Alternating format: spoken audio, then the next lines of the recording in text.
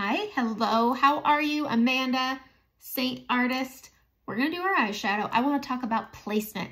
Eyeshadow placement. This to me, get ready, is a foolproof placement. This works on everyone's eyes, whether they're hooded or not. It doesn't matter. Every, every person I've done makeup on, this is the placement I've done for eyeshadow. And it works for everyone. So if you're ever thinking, I'm not good at eyeshadow, try this placement and switch out colors. It's easy. So we're gonna get into this. Here's my colors. This is a great brown-eyed palette, but these are the colors I'm using today. Drift, Foxy, Oak, and Leo. I'm gonna be using a demi brush, the blur brush. I like this brush for eyeshadow a lot.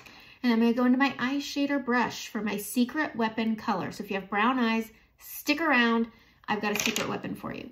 Okay, I wanna talk about highlighting your brow. I like to do it first because I don't wanna compromise the shadows that I've put on my face. Right. Okay, so we're gonna go in on the fluffy end of the brush. We're gonna go into drift.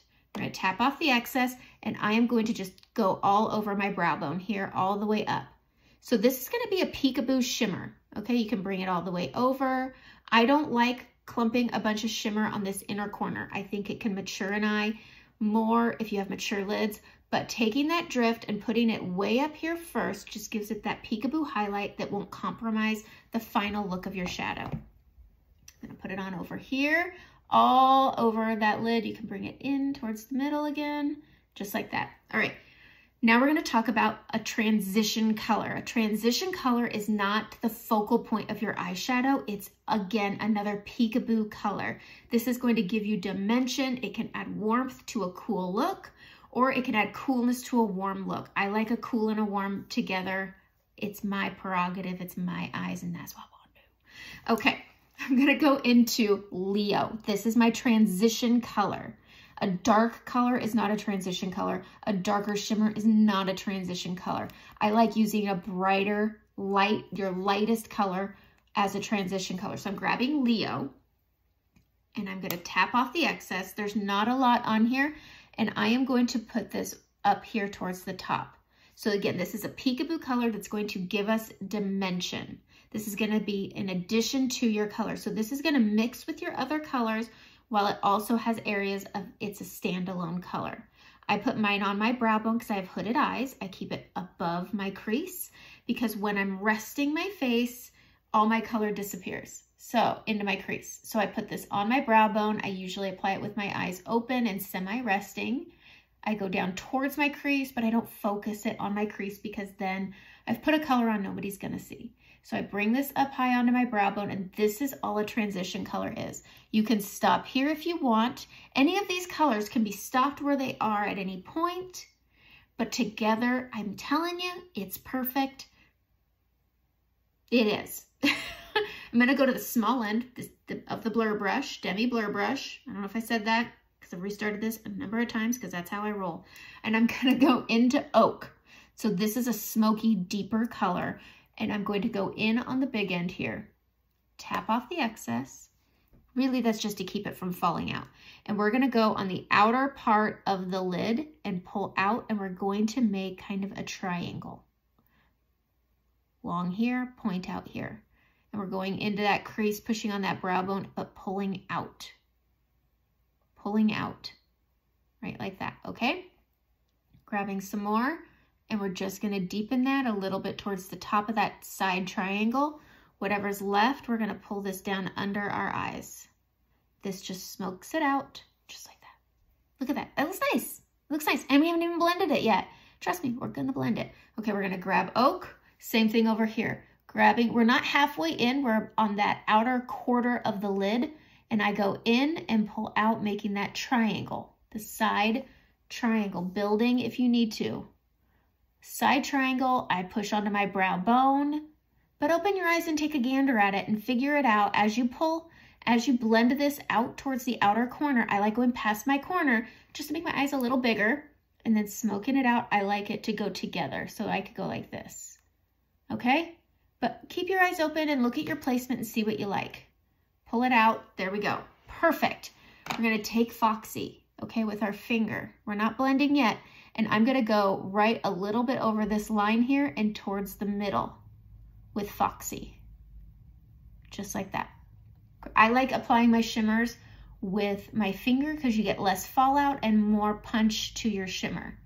But I'm putting it a little bit over that oak color so they transition together. Okay, next, because I don't want it to be dark all the way over, I want my eyes to look bright and open and more youthful because I am of an age.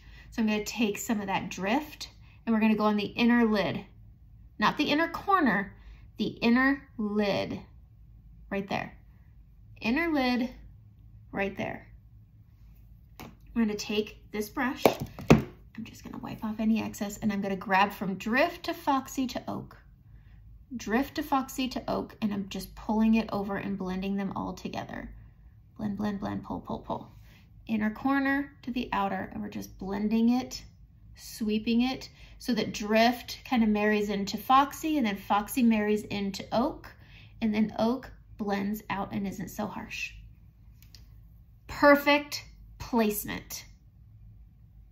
Perfect placement. Look at that. It's a good neutral eye. If you feel like this is still a little harsh, go to a fluffian, not a densant, and just blend it around. Sometimes you need extra blending. That's okay. That doesn't mean you did anything wrong. Sometimes just you need to blend a little more. Okay, let's talk about the secret weapon. I'm gonna grab my liner. Now, as you mature, you're told not to, not to shove that liner all the way across. So here's what I do. You don't have to do this, but I waterline because it fills in between my lashes. Please. There we go. Okay.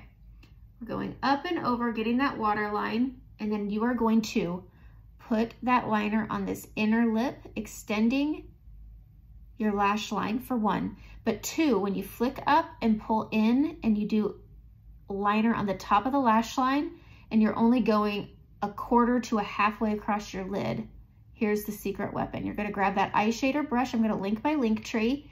It's linked in there. You're gonna get this brush, your secret weapon, Ivy League. It's green and it's gonna warm your eyes up. I'm telling you, I put this color on people with brown eyes and they say, oh my gosh, oh my gosh.